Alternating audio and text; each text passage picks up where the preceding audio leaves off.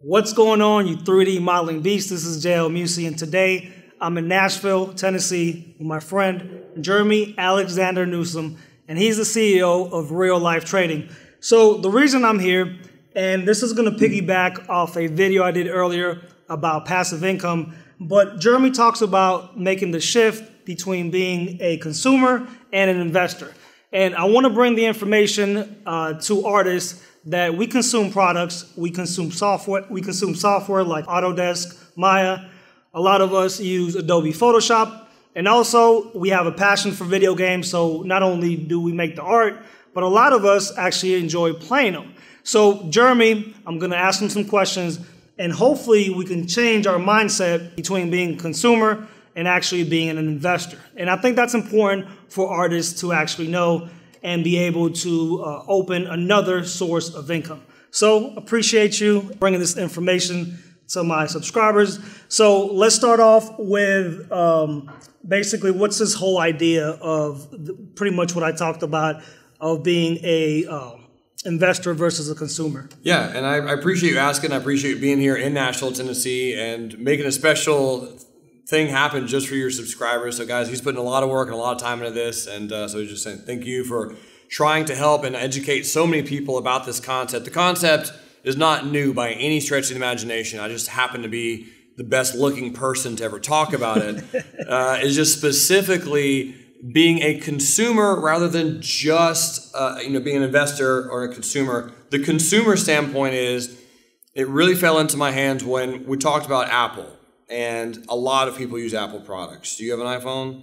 I'm an Android guy. Sorry. Okay, that's fine. That's fine. But there's a lot of people who have you know Apple iPhone or iWatch or iPad or Apple TV, some kind of Apple product. But if in when the first iPod was released, did you buy an iPod? Yes. Okay. So when the first iPod was released, we were discussing the overall value of around $600 at the time. Pretty brand new. But if you took that exact same amount of money and bought shares of Apple, that $600 investment presently would be worth somewhere around 3200 so that same amount of money that you would have bought that product with, if you would have taken that and invested it into the stock, you would have you know 500% more money. And then just imagine all the other products that you could do that with.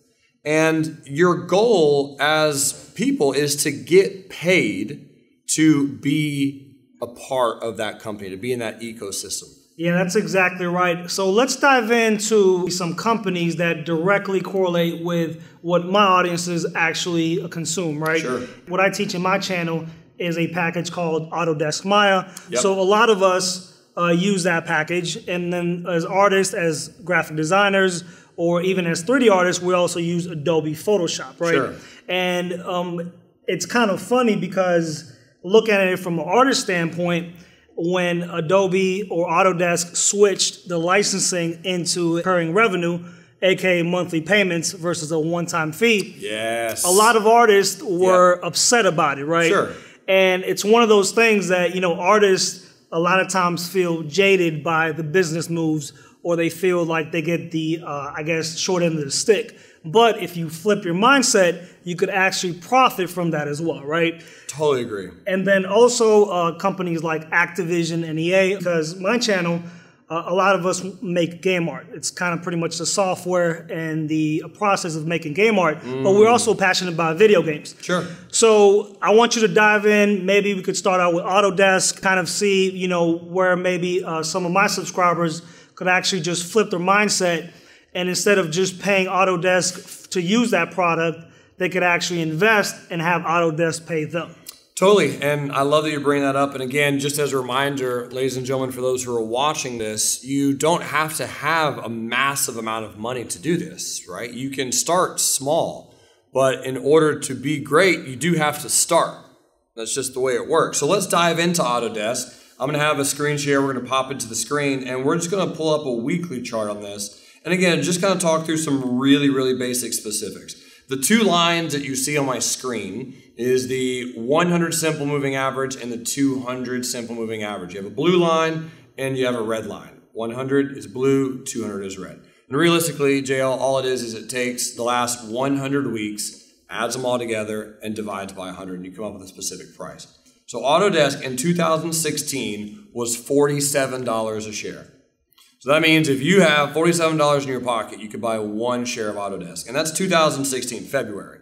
So we're talking presently, this is mid 2019. That's two and a half years ago. Guess what Autodesk is at right now? Uh, off the top of my head, without looking over there, probably around two and change, mid 200s. Close. Okay, so it did, it got up to 170 at one point, but right now it's at 150. Okay. Well, I mean, that's huge. Right? That's huge. So if you're investing in Autodesk at 40, let's just say $50 a share for even math. Okay, now you're at 150. That's a solid, strong 3x.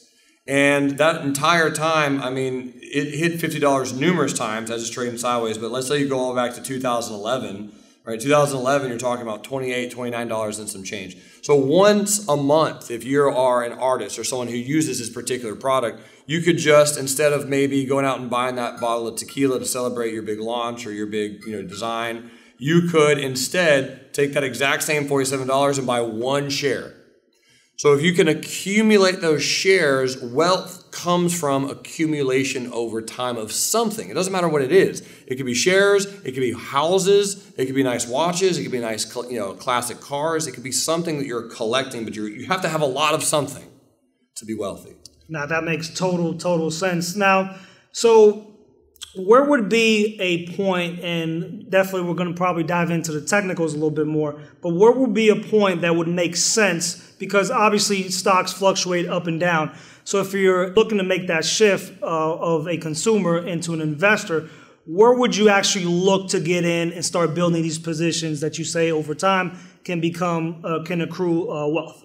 That's a great question. Have you ever heard of the app called Robinhood? Yes. Okay. So Robinhood's a free app that pretty much anyone can access right now. And you have the ability to log in, create an account, link it to your bank account, and transfer money for free from your bank account to the app. And the great part is with the application, you can buy stocks for free. Mm-hmm. So it doesn't cost you anything in commission. So what once would cost you $8 to buy one share of something. So if that costs $50 to buy a share, it really costs $58 to buy one share. Now it's free. So all that overhead's totally wiped clean. So you can go into Robinhood and you can actually buy a stock directly from there, even if it's one share per month.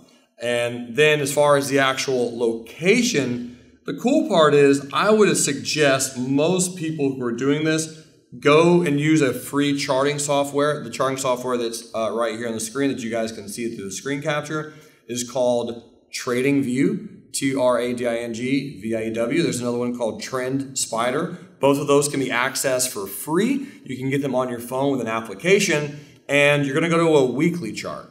So you start off by going over here and just typing in, you know, for example, Autodesk. If you don't know what it is, just type in A U T O D E S K, and there it is, Autodesk. You click on it.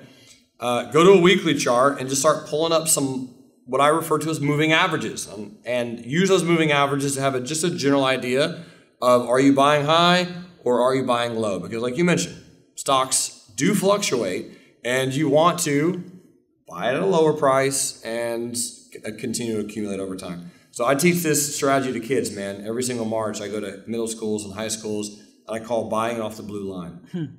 So I just tell them to pull up a weekly chart, 100 simple moving average, and if you're accumulating positions, just buy it there. Now makes total total sense. So let's move on to the next ticker, and then I'll follow up with some questions. Okay. So let's go ahead and make the shift over to Adobe, which is a very uh, popular application, which they have a lot of different artists use it from uh, Adobe Premiere to make videos uh, Adobe Illustrator for making illustrations, mm. and a lot of graphic designers mm. use it uh, use Photoshop as well, right? Pop that chart up and yep. maybe just look at overall entries and maybe a good position, uh, just how the stock has been performing, and maybe a good place to maybe pick up a couple shares. Yeah, this this stock is what I would refer to as Seabiscuit. It's been running. Uh, Adobe when they switched from you're mentioning the like buy the whole package to a monthly subscription that changed the game for them because you have monthly recurring revenue and you all are brilliantly smart people. You know how recurring revenue works. So Adobe, as far as a, I mean, a stock price, in 2016 was at 76 and it hit 300 a few weeks ago. Mm-hmm. So that's you know even a bigger move than Autodesk, and that is something that a product that a lot of uh, not only video game designers but just designers in general will be using a lot of Adobe. So for video, for editing, for creation, for music, Adobe can do a lot. So for right now, as far as purchasing. My overall thought process is Adobe is presently trading at $287 a share this stock does pay dividends, right? Which means that the company will actually pay you a small, small percentage every single year to just be a shareholder. So Adobe, I think, pays somewhere in the range of like 1.3%. So again, not a lot of money. If you have $100,000 invested, you get a free 1,300 bucks a year just given to you, saying, "Hey, thanks a lot," and it just goes into your account. You can recycle that over and over. No, that that actually makes perfect sense, and I like what you said about reoccurring revenue.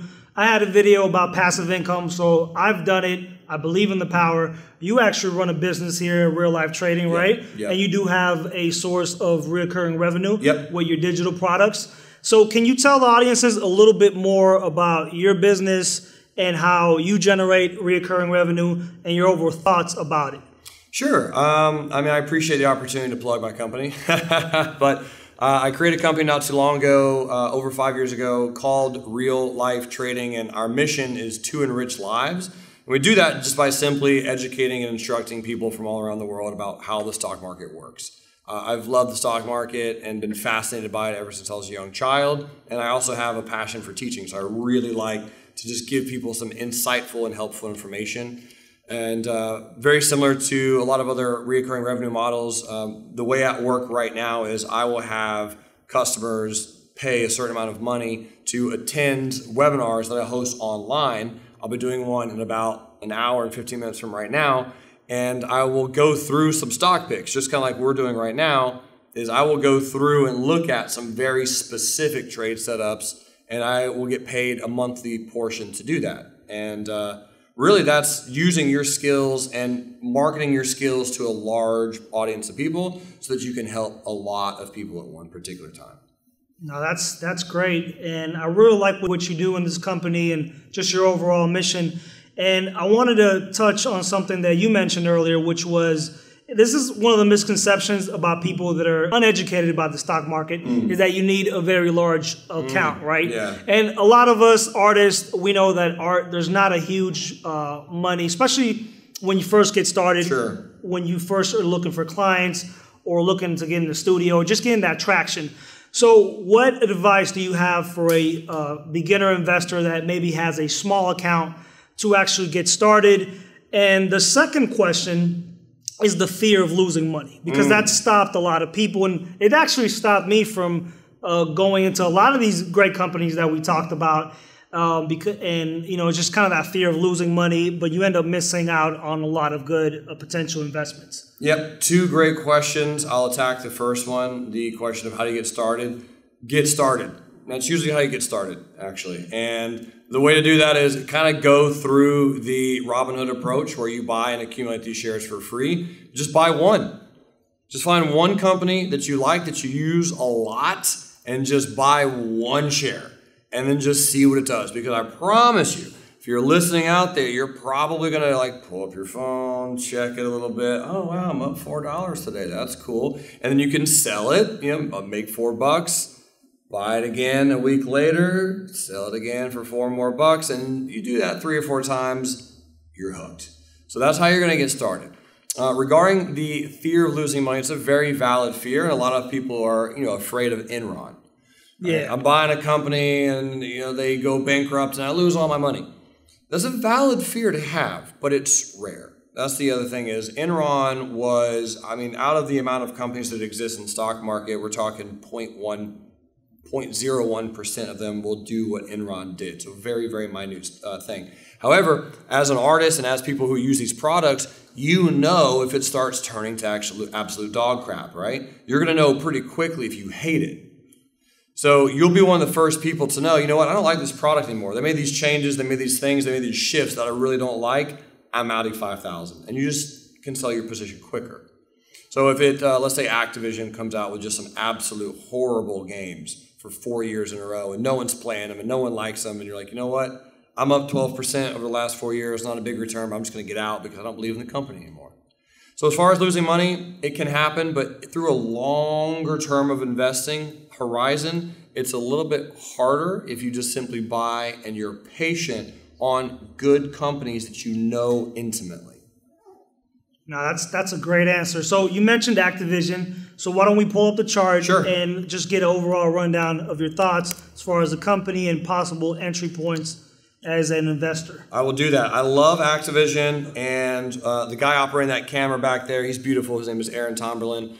He is a big Activision fan as well. And Activision, uh, what, what companies, do, what games do they make that you like or that you know of or you're familiar with? Well, Activision does own uh, Blizzard Entertainment, so uh, a lot of people, including myself, like World of Warcraft. You're a wower. Huh? I, I've I've wowed before. Cool. also, there is uh, Call of Duty, which Okay. is made by Activision, so that's a first-person shooter. sure. Um, so a lot of great titles, and they also own King, which is their mobile division, which they came out with Candy Crush, and they acquired that. So they're pretty much three huge entities Yeah. in one. Yeah, I, I've I dropped the bag big on Activision just because I I'm dumb uh, and I didn't consider myself as uh, you know a video gamer at the time. But in 2011, Activision was trading around eleven dollars a share. So Activision goes from eleven dollars a share to eighty. It- Now, for those of you who are following this YouTube channel, watching this video, that's a gain. Okay, you're you're increasing your investment if you buy at eleven and it's, a, it's at eighty. Capital G game. yeah, for It's sure. That's a big game. That's a big gain. So if we're looking at the chart right now, what's very interesting about it, in my opinion, is I'll throw up um, a quick percentage drop just from let's say the most recent high to a recent low. Activision's at trading at about a fifty percent discount, or it was just weeks ago. And I know you're a big fan of Activision. We've been talking about Activision, and you've done some strategies on Activision that are also bullish. And that's another thing, ladies and gentlemen, is this guy talks the talk and walks the walk. He's not only asking these questions, but he's also an investor, and he's really investing his time into you, beautiful people, as well. So keep that in mind because this guy cares. So Activision pulling back 50%. So let's say you want to get a Bentley, and that Bentley costs you $200,000. Same exact Bentley, three months later, costs 100,000. It's a little bit more appealing now. That's what's happening with Activision. You could buy a Bentley if you make enough money on Activision, okay? It's 50% off over the last few weeks. Now, at this exact moment in time, it's 35% de- uh, cheaper than it was because it's increased 15% in the last few weeks. So if you're looking at playing Activision just based on this particular chart, this is again a weekly chart, and I'm gonna call this strategy buy off of the red line, which is the 200 simple moving average. So if you're looking at playing it, you could start accumulating some shares around 52 um, down to about 48. The low should be in.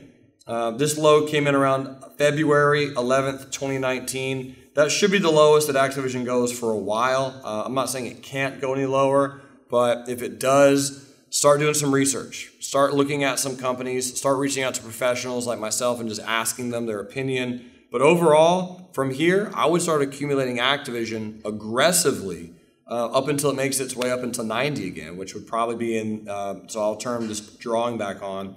This is a drawing of what I think Activision's most likely going to do. This pink line is kind of like a future forecast based on my historical predictions of charts. There you go. And so I'm thinking in 2022, at the latest, this thing's going to be over $85 a share again.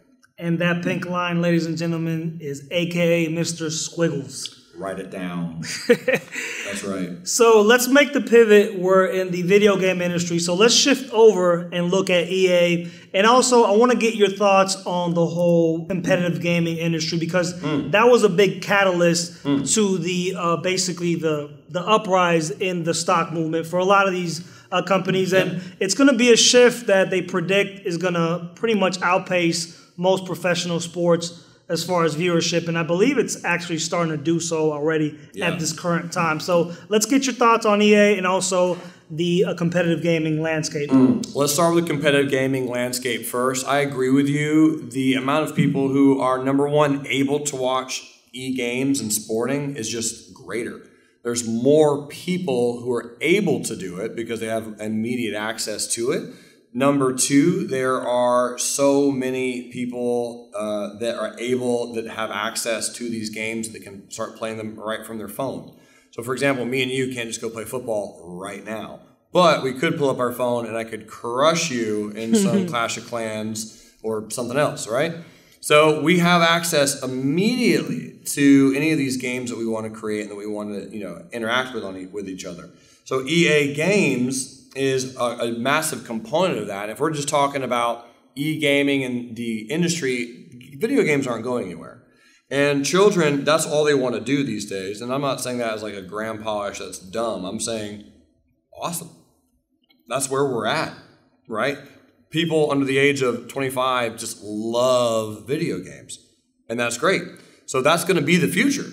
As they grow up, as they get more disposable income, they're going to put even more money into video games and they're going to put more money into the research and the technology that goes into it. And they're going to have, you know, these vests that you wear, right, that make the bullet feel more real and it's going to really immerse you into the game and you're going to have all these different senses They're just fully like you're going to be running on the treadmills and you're just in it to win it kind of thing so for as far as the chart this is the biggest one that's had the most explosions from the one that we've been discussing and uh, ea was $12 in 2012 12 bucks and now anyone who's watching this has 12 bucks all right. Then it went to 140 a few weeks ago. Weeks ago. Capital G. Massive gain again. Now, again, I did not participate in that particular run, uh, but there's many, many places that one could have, you know, made some money on EA. And again, talking about buying at the red line, that's going to be a strategy that I would implement again on this one. $96.93 and below is going to be the price that you're going to want to start accumulating EA games. So go through and look at how much money you've spent on video games in the last year. Take that exact same amount of money and budget it and take that amount of money and put it into one of these four that we've talked about. Or specifically EA and Electronic Arts. You take that, let's say it's 1500 bucks. You take 1500 bucks, you put it into Electronic Arts, and let's say between now and you know July 2021, EA goes from 96 to 120, worst case scenario. So you make, let's say, $20 a share. Well, that's going to be a nice hefty 20% discount for any future games that you buy in 2021. You can, you could, if you want, sell that share. You have more money. You take that money. You can go buy your games with it, and that company paid you to buy some games or gave you a discount. That's the way I like to think about this type of approach. I don't suggest you necessarily pull out that money. I think it'd be better off to staying in there and just continue to buy more and more and more over time, especially if people like you and myself really like these companies long term. I love how you worded that. And one of my my intent with this interview, a lot of times as artists, you know, we we're passionate about things, and that could lead to a little bit of exploitation and you know us underselling ourselves. Mm. And I always talk about you know think like a business, you know, create as an artist, but like think and brand yourself as a business, right?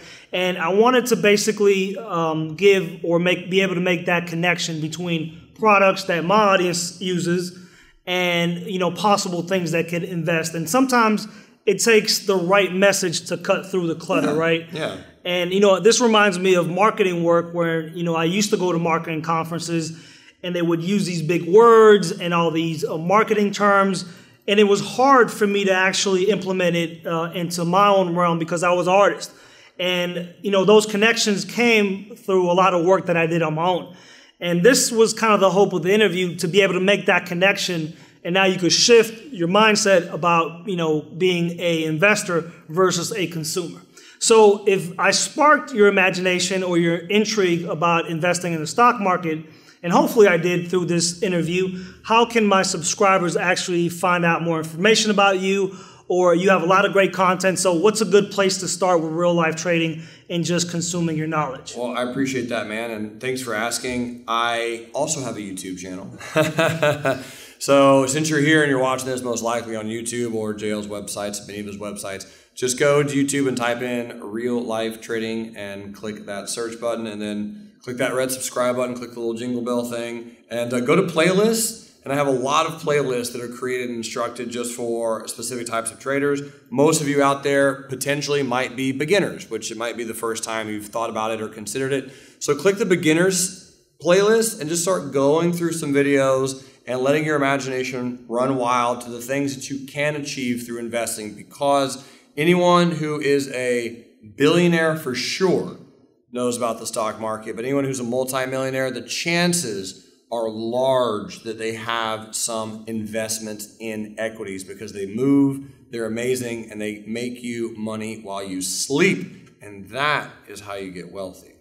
So what I'll do is just as ease for finding your channel and really all the links that you talked about from Robinhood to TrendSpotter, I'll go ahead and drop them down in the description down below and also try to throw some of them on a YouTube card. So Okay. I really, really appreciate uh, your time and expertise and really just enriching. This is what this guy does for a living is enrich lives. And he's a truly, truly genuine, uh, you know, human being. Really cares about people, and I'm kind of the same way. And I'm doing it for my guys, my artists that are really just in a place a lot of times where they're tremendously talented, but uh, income can be hard, especially when you begin. So we kind of have similar visions, different uh, realms, right? But we have a lot of overlaps too. And it was really just nice just getting your insight, and I really appreciate it. Oh man, my pleasure. Make sure you uh, link the, our two videos we've done in the past together, where we uh, it was all his creative ideas, where he wanted to do a stock market joke battle. He'll put those videos in the link below because uh, yeah, you've uh, you've been taking some L's on those. Uh, it's okay. It's okay. I lost, but I lost with honor. I, lo- I lost on my shield. So, and this is something I do with my YouTube channel is I incorporate comedy and, and this kind of stems into other things that I'm interested, which is, you know, stock markets and investing. So I try to put humor and just, you know, just like you, you try to make people laugh, uh, make people laugh and enrich their lives. well, thanks, man. This All was right, a really, brother. this was a wonderful interview. Thank you so much. I hope you guys got a lot of information from this guy. He really does care. So hit that subscribe button if you hadn't already. Be a part of his YouTube channel. Be a part of his community, and let's grow together.